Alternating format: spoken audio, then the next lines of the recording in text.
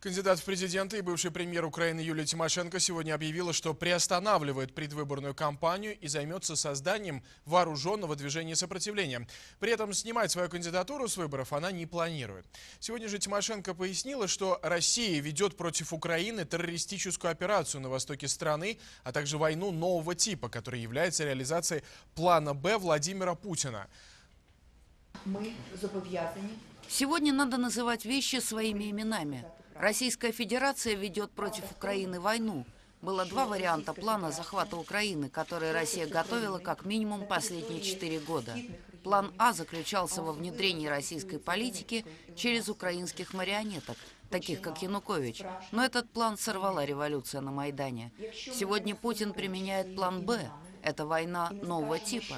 Война на проникновение и захват территории на фоне международного переговорного процесса.